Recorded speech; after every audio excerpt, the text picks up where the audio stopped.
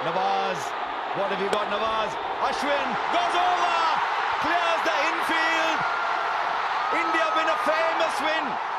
You look at all the great wins over the years, and I think you'll find very, very few to compare with this one.